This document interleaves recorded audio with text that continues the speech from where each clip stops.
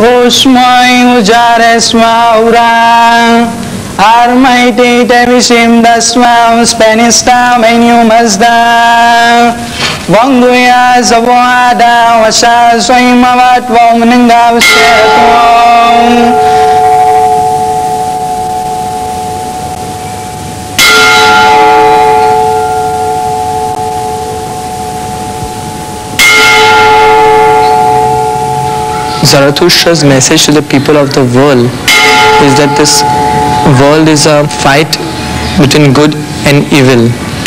And man has to use his faculties physical semi uh, and spiritual faculties to decide what is good and what is not. And after deciding he has to make a choice whether he wants to follow the path of good or whether he wants to follow the path of not good or evil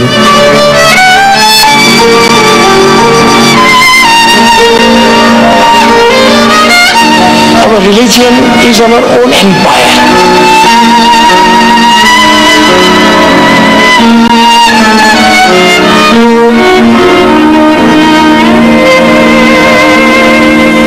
They think of us as some strange kind of human beings who are just basically fire worshippers.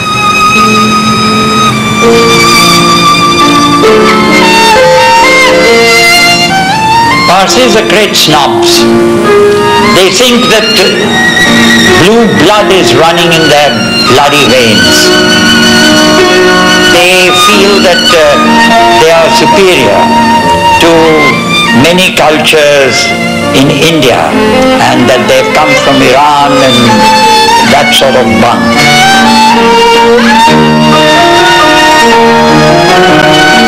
My parents had eloped, but uh, if I had to run away with a non-Parsi, I would have, you know, been kind of murdered.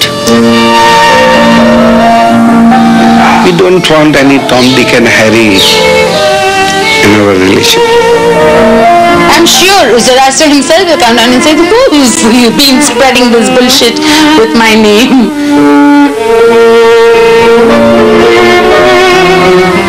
The Parsis know uh, what is good for them.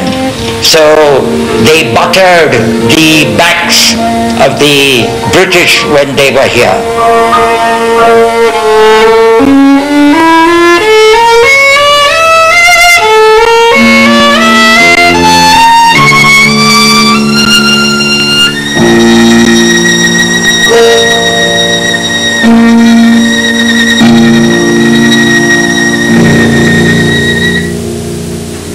A Parsi in 1934 swam for 30 hours and 30 minutes wearing handcuffs.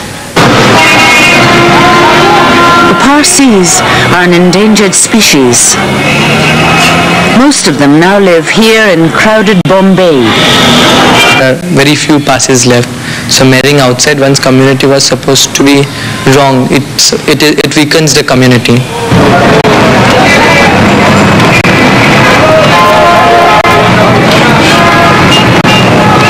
Outnumbered by Muslims, Christians, Hindus, they live in a city of many gods.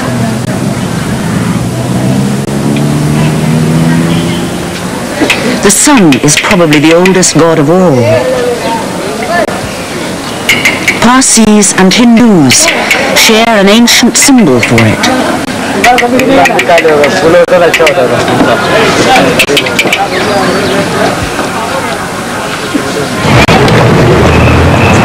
Parsis cling to their own separate religious identity. In teeming 20th century Bombay, the Parsis still observe a simple reverence for God's good creations, cattle and plants. The earth, the sky, the water, the sun. These were the elements that controlled the lives of their ancestors eons ago in the steppes of Siberia. Long dark frozen winters, long light bountiful summers, precious cattle, vital fire. Over the centuries, these herdsmen, the Aryans, drifted south, Some took their many gods over the passes into India. They became the Hindus. Some of these Aryan people carried their fire to the land that now bears their name, Iran. To these ancient people, thousands of years before Christ was born a man called Zoroaster, a man of the priestly class, the Magi. He turned aside the confusion of many gods.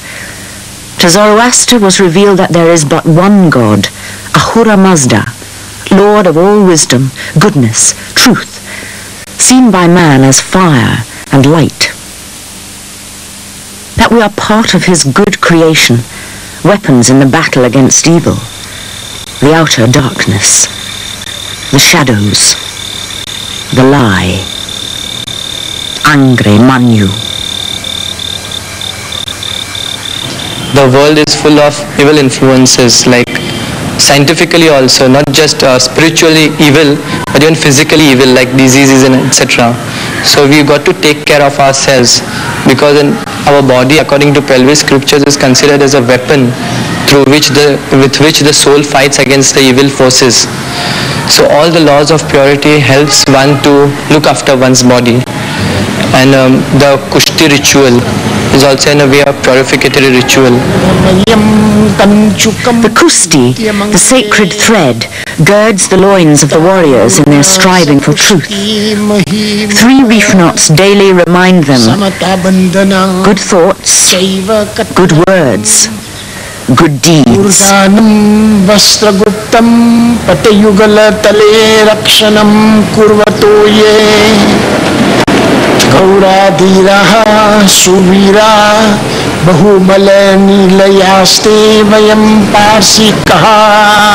We've come down to Bombay to have uh, Lila's confirmation on Navjot um, to make her a Zoroastrian. And um, it's important to us that she is a Zoroastrian. We bring her up as a Zoroastrian and then she decides for herself when she's older what she wants to do. It's down here that we can do it traditionally with all the rituals and all the customs that go along with this very old ceremony. Name Kuda. Ye Gamcha Hashem Cha We are made to uh, go through a Navjot ceremony and we are given certain explanations and we are not allowed to question why, what, whatever.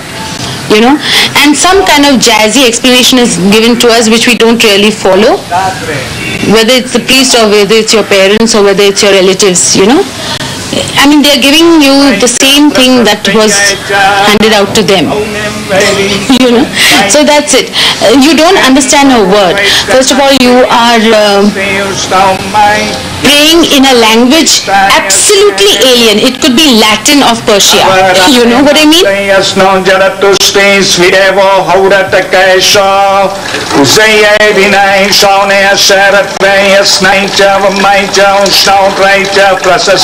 Cha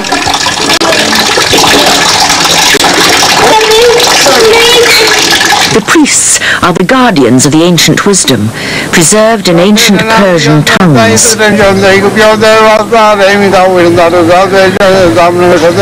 The astrologers, the alchemists, the wise men,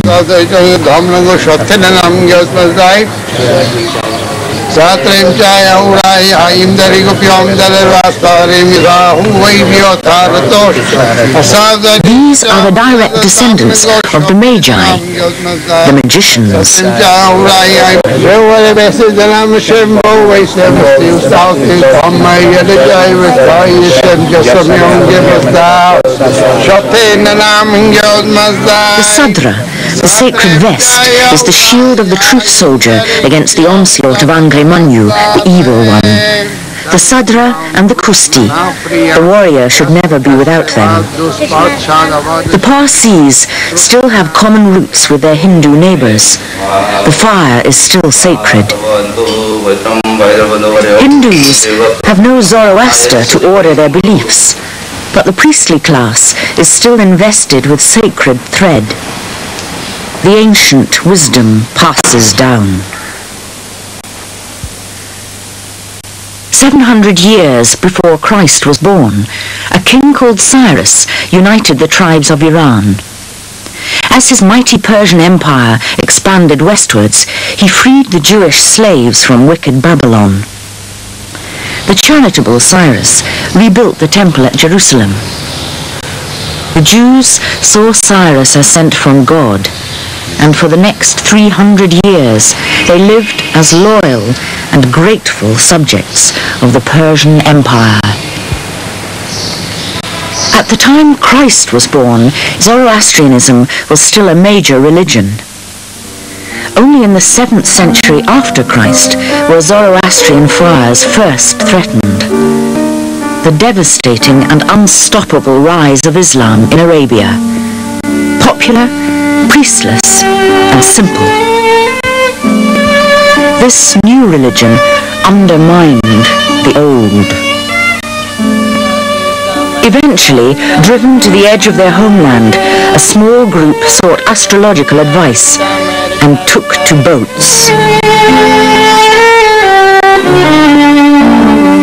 There are still a few Zoroastrians in southern Iran, but the Parsis, as they came to be known, brought their fire to the coast of Gujarat in India.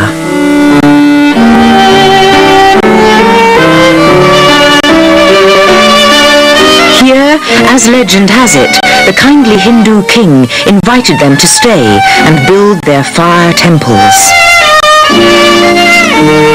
But there were conditions. Speak like us, dress like us, keep your religion to yourselves, and marry after sunset. A thousand years on, this Parsi groom is driving into the sunset on his way to marry his Parsi bride. As in the Navjot, ritual purity is required. Cattle had provided a natural antiseptic in the days of the Siberian steppes. They still use it.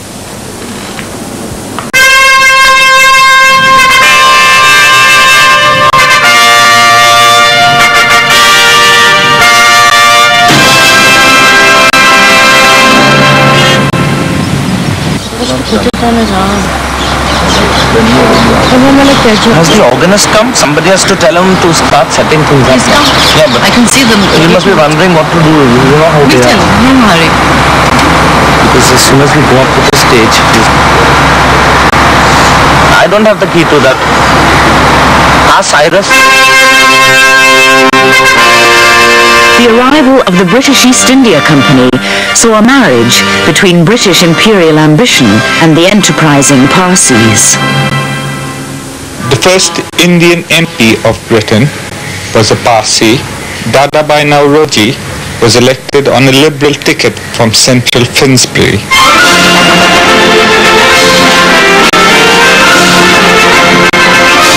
The partnership was to last for 300 years, for better or for worse. Mostly for better.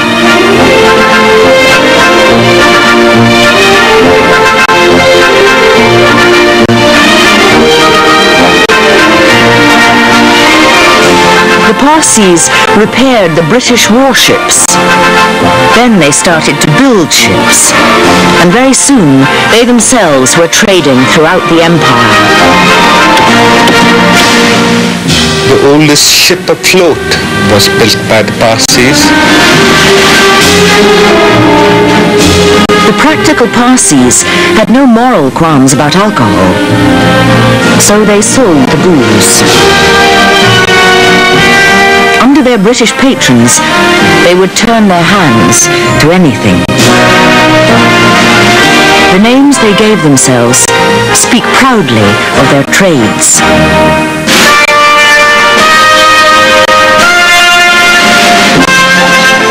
To believe that the Britishers liked uh, their honesty. That's why they were employed in the British companies earlier as cashiers and you know that kind of thing.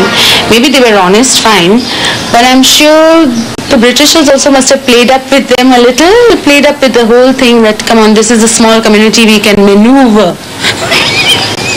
you know si- especially since they are in favor of us, we can maneuver them and, you know, and sort of use them, you know, to overcome problems with the other community. I'm trying very hard to kind of use respectable language.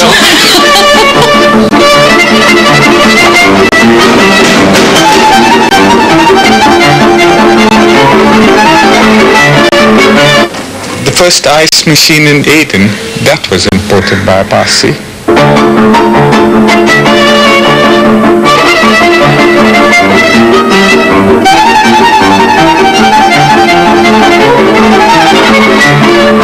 The first printing press was founded by a Parsi. The first Indian to be knighted by the British was a Parsi.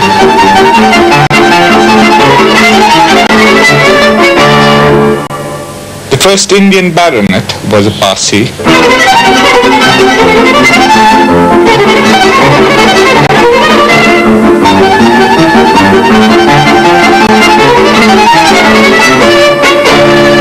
Longest ever piano concerto was written by a Parsi.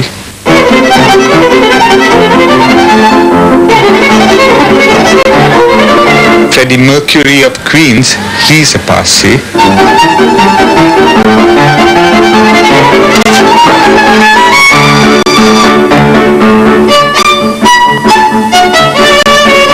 First cotton mill in India was founded by a Parsi. The first revolving restaurant in India was built by a Parsi. The first five-star hotel was built by a Parsi. Parsis were pioneers of railway construction.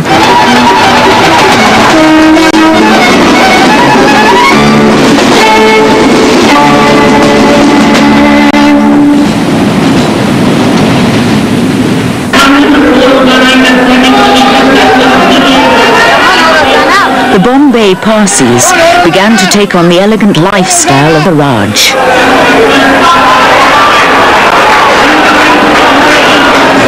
They rubbed shoulders with their British patrons. Power, prosperity, privilege, public office.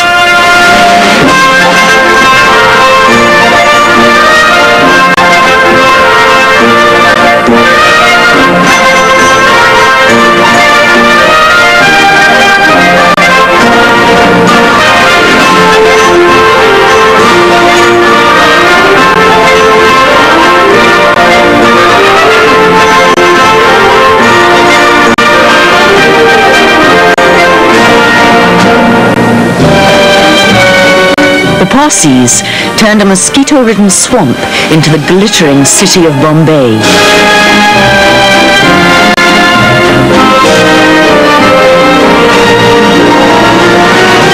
There was a reward for the diligent and truthful Parsis. Some of them became very, very, very, very wealthy. We Zoroastrians believe you must have wealth. But you see, it is the means, by what means you are collecting wealth. Not black marketeering or just squeezing the blood of poor and amassing great wealth. You see, that's very wrong. Yesham gehe surabnyam These are the Parsis, in whose houses there is always food, delicious to the taste, to be eaten and shared. saram The key of Zoroastrian religion is development, growth, which in no way hinders the development, like does not interfere with the life, but on the contrary enhances the quality of one's life. It's always a positive religion, an optimistic religion, a religion which sees the brighter side of life. the key to my life. Not only good thoughts, good words, good deeds, but happiness unto him who brings happiness unto others. Good food, good fun, good friends. What else can it be? vastradyam dravyadhanam These are the Parsis, whose custom it is to dig wells and reservoirs here on the surface of the earth for the use of all.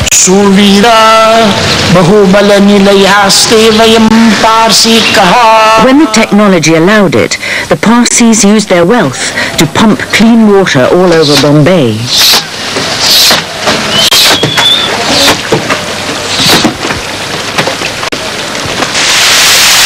They created green and pleasant places for all to enjoy.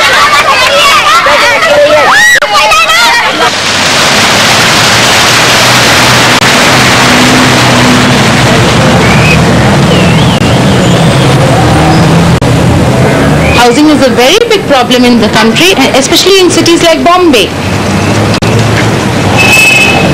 I personally feel that it's a good thing that there are uh, charitable institutions, then there are places like uh, charitable housing. You know, I mean, they are hardly what you call the charitable blocks type. They are not the slummy type of. Uh, you know, housing provided. And I'm very proud that the Parsis are taking care of their own community it's unfortunate that these houses are not uh, given to them in different localities as such and they're all grouped together because then that helps them to maintain their cliquish mentality you know that's the unfortunate thing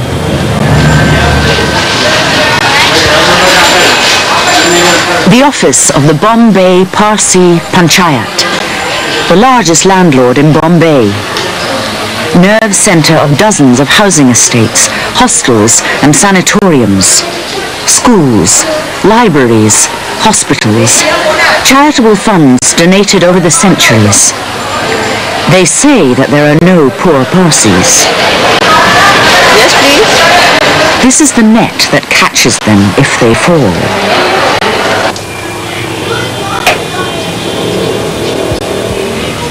Praise be to Ahura Mazda, the wise Lord. Gaslighting, first introduced to Bombay by Parsi,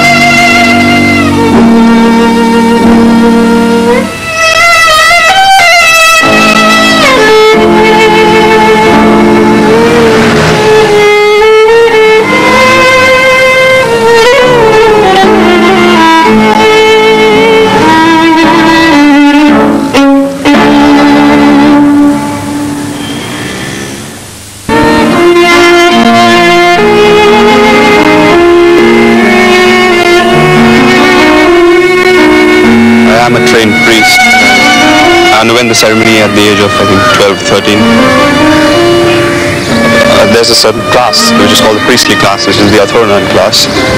And if you belong to that class, you can become a priest. Also, either your father or your grandfather has to have been a priest. Kawa either means cow or it is even translated as earth. Each practicing priest comes out of a madrasa, that is the school which teaches the young boys to become priests. There the education is supposed to be very good, but uh, it comes up to a particular level and thereafter they are on their own. So even after graduating from the madrasa, many of them leave the profession. And that is the sad part about our priests. They are a withering lot. I'm not practicing it full time because I have a lot of other interests, my music. And I hope to make a profession, have another profession, which is I'm studying for business management. I am officiating at ceremonies for friends and relatives when I have the time to do it. And that's the way I like it. My daddy advised me not to go into the priestly profession. He's also a priest and he did not want me to go into priesthood.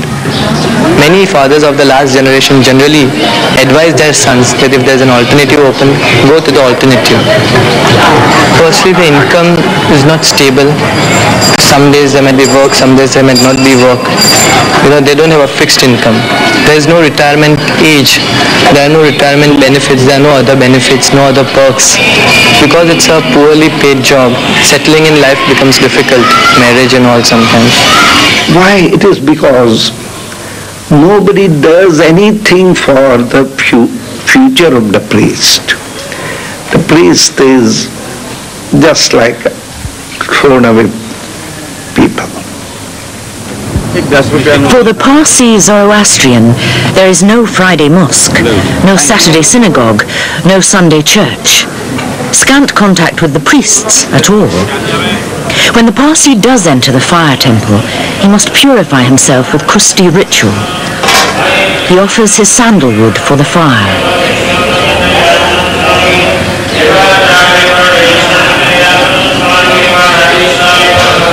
He leaves behind a few rupees to keep alive the ancient prayers and the priests that have remembered them.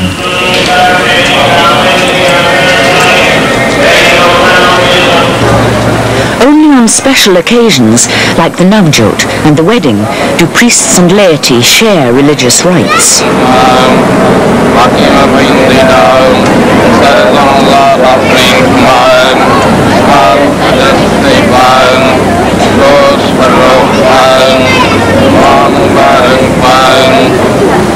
The superior purity of the priests is maintained by rigorous ritual. But at weddings, even when food may be cooked by impure non-Parsi hands, the priest may break a rule to fill his belly. There are certain purity rules for one's own self and one's own benefit. Then there are other rules of purity regarding menstruation. Um, a menstruating woman is considered to um, give out certain uh, toxins. Menstruating women I generally used to stay separately for a certain period of days. My God, that irritates me. That really irritates me. I get irritated even with my mother. And if she knows that I've got my periods, she doesn't want to meet me. She says, don't, uh, you know, I want to pray and these are good days just now. So don't come now. Finish it all off and come. You know, I mean, come clean, kind of. And otherwise, she's a very modern kind of a woman. First Indian lady to ride a bicycle was a Parsi. First lady motorist was a Parsi. The first lady to play tennis in a sari in Europe, she was a Parsi. The story of the Magi from mighty Iran, following the star to the manger in Bethlehem, lent prestige to the infant Christianity.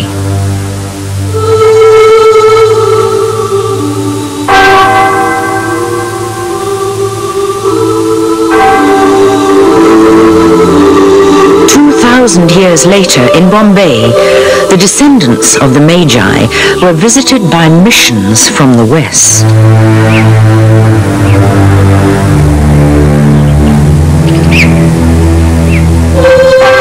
The Reverend John Wilson, Scottish missionary and educationalist, arrived in 1829. He saw many similarities with the Parsis and told them that they were Christians in all but name.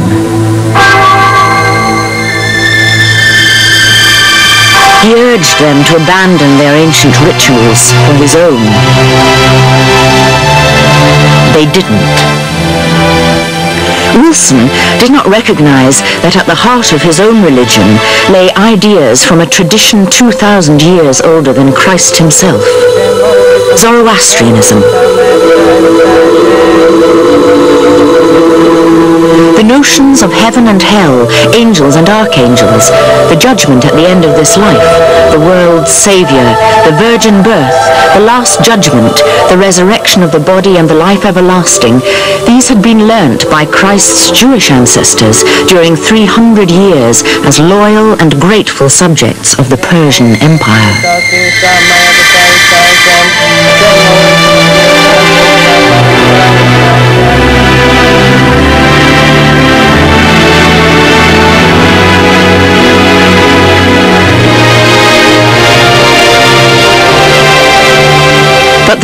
Is guilty, tainted with original sin. The Christian God created both good and evil. The Zoroastrian is part of God's good creation. Evil is something else. You know, many religions say, oh, we'll put the fear of God into you. And there is no such thing in our faith. So there is no fear. There's only one thing, the love of God. The power of the love of our gods is invoked in many causes. If your mother has a bad leg, you might come to St. Mary's Mount. You might offer a waxen image and pray for divine intervention. Even Parsis do. Or come to St. Michael's Mahim and do the nine Wednesdays.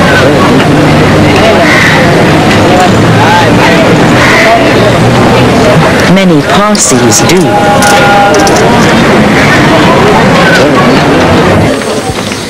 Or walk across the road from Asaji's fire temple and into the Hindu shrine of Sai Baba.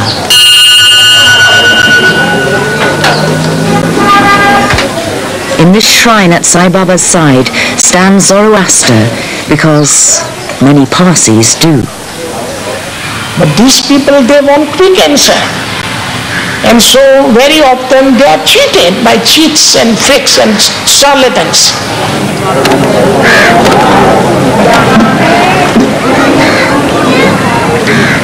Or even to the Muslim shrine of Haji Ali to plead with God for God knows what. Many Parsis do. They say that they believe in their religion, but then they're again going to the other people. They are just, what's wrong in going to them? Uh, it's like having one's own mother and then again going to other people's mother, calling them mothers. It's nice to respect other people. It's nice to respect the mothers of others. We don't insult them. We respect all the religions. And at the same time, we have to stick to the religion in which we are born. Just for the sake of asking for boons. You're going, then you don't understand your religion. Then you don't understand what religion is. It's just a matter of asking boons for some people. Despite their quest for boons at other people's shrines, the simple rule remains you may only be a Parsi if your father was a Parsi. I married Mahmood, who is a Muslim, out of love. And I think the best religion in the world is love and humanity.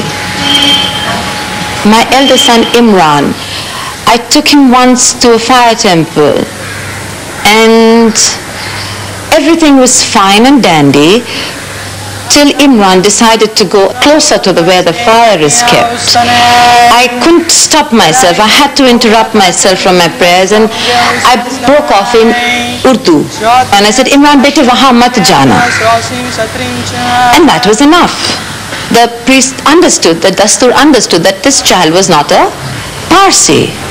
And uh, he just came out and he started, he started saying nasty things amounting to as much as to say that why did you bring this child into this holy or pure place? So which, which tantamounted as to my child is not pure. Whereby I lost my head and ever since that day I have not stepped into a fire temple myself. We are living among the seas of Hindus and Muslims. Still, we can preserve our identity as Parsi Zoroastrians because we do not intermarry. Because such a small community, if they intermarry, the whole community will be wiped out within two or three generations.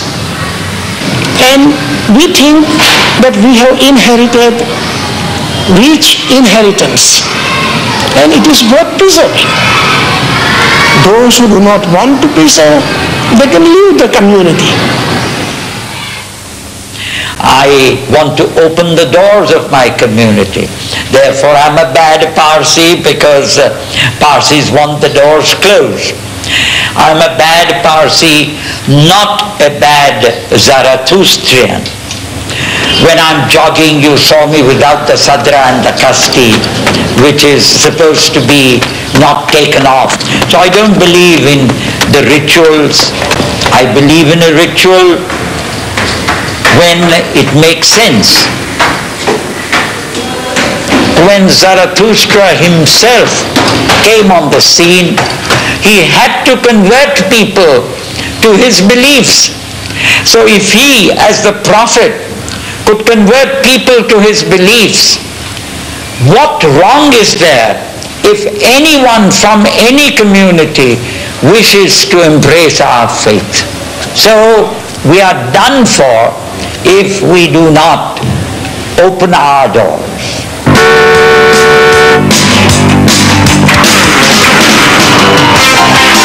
Got the good jobs in banks and institutions and we still maintain those jobs and now those jobs are open to the Indians.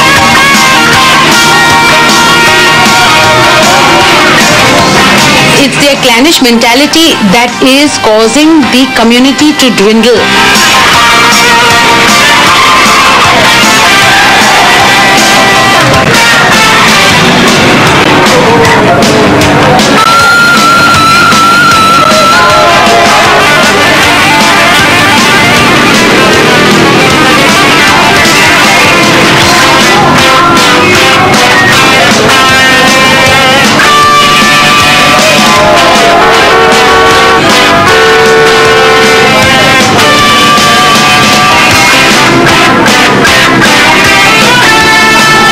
Feel sort of too relaxed and you want to lead a good life all the time and not work hard.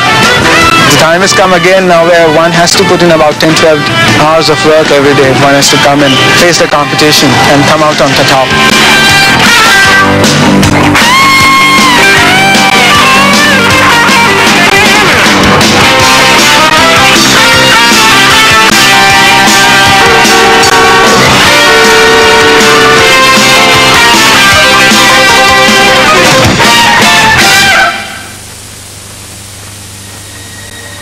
Death, the Parsi's journey is not over.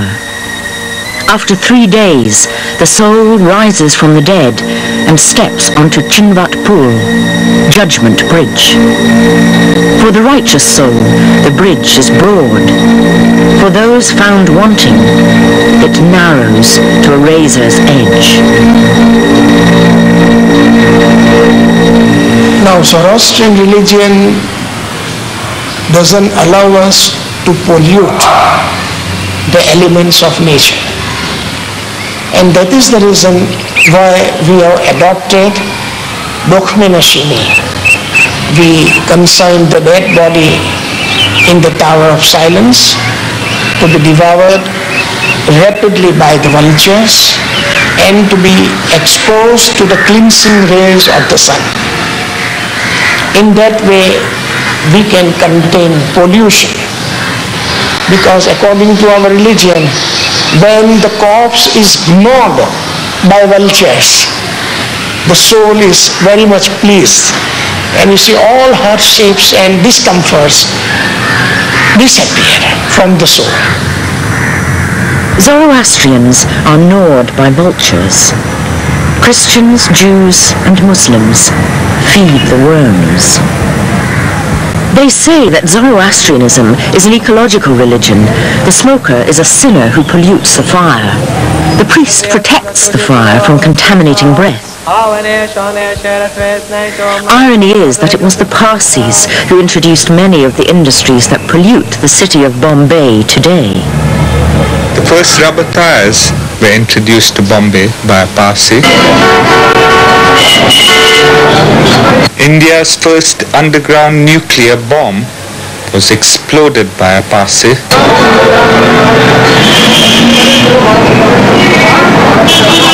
For nearly 300 years, the Parsis have drifted from the villages of Gujarat to the big city.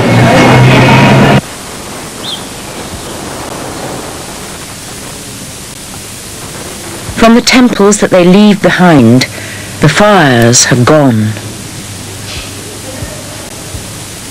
But one woman has returned to the countryside in her personal search for renewal.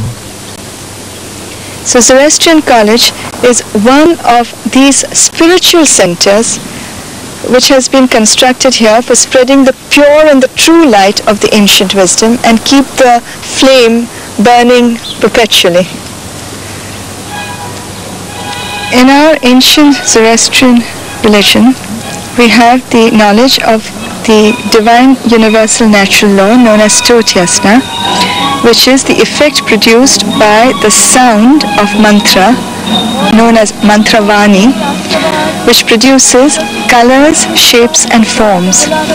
When we recite the Avesta mantra, the rhythmic sound give joy to the soul of the trees. Music too has this effect. For instance, Mozart or Viennese waltz, which has a one-two-three rhythm, gives that joy and that lilt which is in harmony with the cosmic forces of nature. And the trees love it. Hot fruits with sweet coconut, tender milk in it, and be our pride and joy. Today, the Parsi community in India may be termed as an age-old commu- old age community. And as a result of this, the rate of population growth is negative. The elders of the committee, community are deeply concerned with this problem of dwindling population. From a figure of 115,000 Parsis in 1951, these congresses do not serve any purpose. People from all walks of life, they meet together, they talk in high sounding languages, they give promises which were never fulfilled. And so they just come, have tea and cakes and pastries and all such things, talk about so-called problems, and then disperse. And after five years, they will come just raw like that and repeat the same thing. We have become an old age community. Over 40% of our population, community, Parsis of population, is over 65 years old. And a very small uh, proportion is under 14 years old. Second thing that worries, worries us is this, that the new generation which is coming up, not only in India, but also in the different pockets of Zoroastrians in the world, where the Parsis during the last 20 years have emigrated, we feel that they are going to be merged into that society, apart from society, that religion, that community, and lose total, shall I say, links with their own antecedents.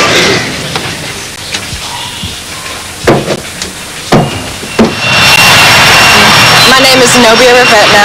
I'm from Chicago. I am still a Zoroastrian and I'll always be a Zoroastrian. Um, I would much rather marry a Zoroastrian to continue the faith, but if if I don't, I want my children to be accepted and I want to teach them the Zoroastrian ways. One young man came back from America, inspired. This form is not another piece of paper. This form is asking for you from a sense of what it takes to be a true Zarathustrian, like we all are here. Today we have become apathetic. Today we become people who live in charitable homes, who do a 9 to 5 job and expect everything to work for us. It doesn't. It never did. That's why ancestors came here. Because it was not working in Iran. They came here. The time has come now for us to look at what's not working. The fact of the matter really is that you and me are not working. We're not functioning anymore. It's confronting, it's a hard fact, but it's true. We are the same followers of Zarathustra. We come from the same stock of people who could overnight leave a country and come here and start something remarkable. Who could overnight become the richest minority in this country, the most powerful, and we are that even today. So what is this Zatushan project then?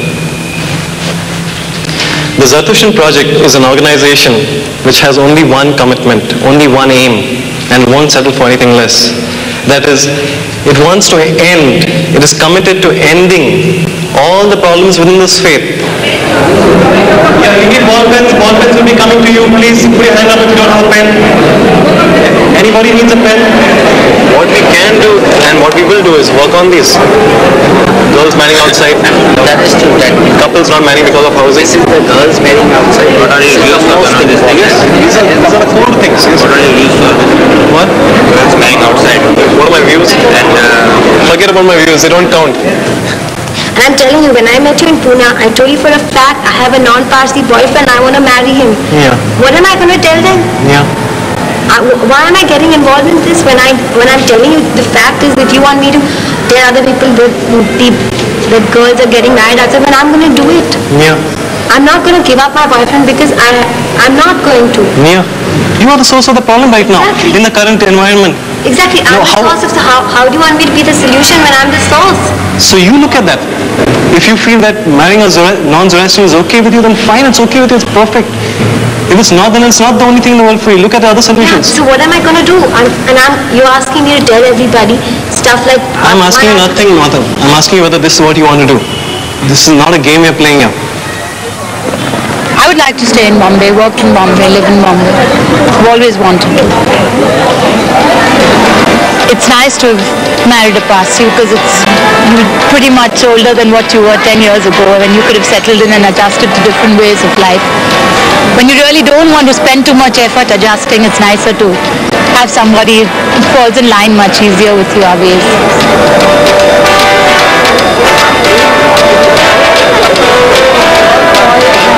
I have a daughter tomorrow, if she marries a Parsi, her children can become Parsis.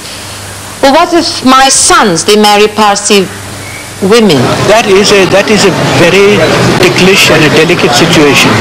You must most people do not remember or have lost sight of the fact that today the fact that a Parsi man marries a non I'm sorry uh, yes a Parsi man marries a non-Parsi girl, his children are accepted into the fold into the Zoroastrian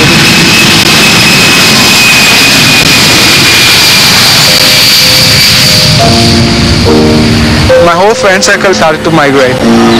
Some went to Canada, some to America, a couple in London, some have gone down to Australia.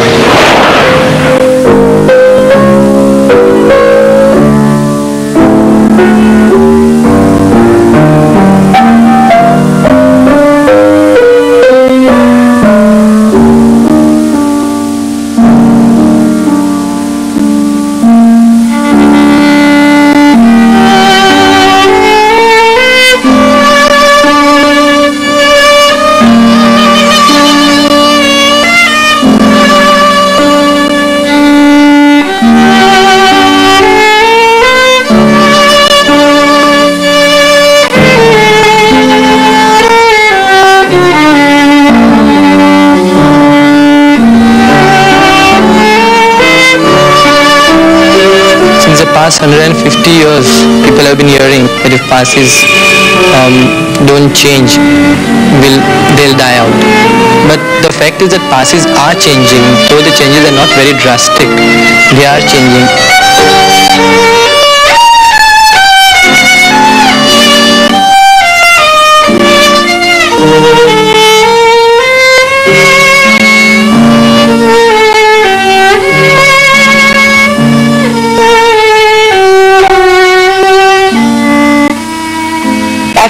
Very, very strongly still for my community and I feel awfully miserable when I see that it's really, really not going to be there maybe a hundred years from now if things don't change. They have to change.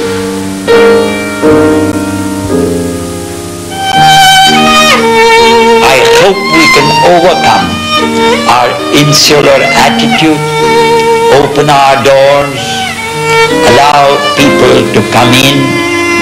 Otherwise, we can, I don't say we will, but we can certainly wither away.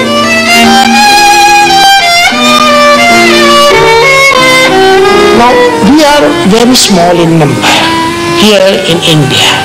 You just think about our ancestors coming here in a couple of boats And today we are 60,000, 80,000, 100,000, whatever it is. They say that we are dwindling down. But you just think about that because there is always ups and downs in a man's life, so in the life of a community.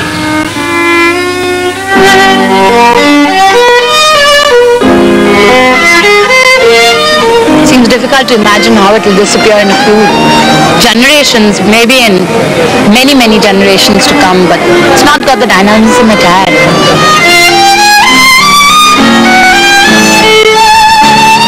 I think they'll just die out. there is really no future. They're really marrying outside their caste. And there is just a big opening. The world is too wide for them. They're too small a community to try and contain themselves.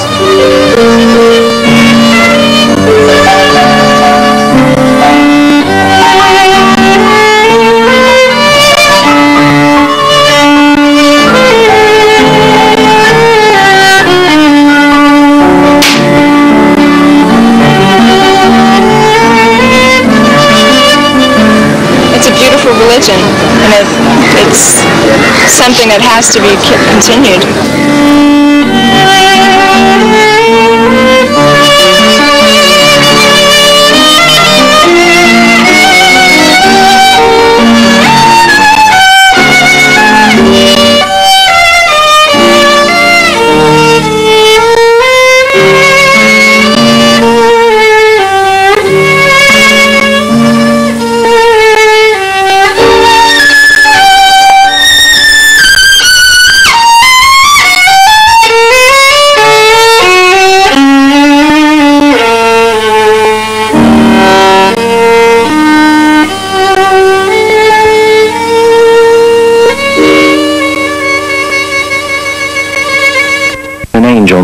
And sit on it.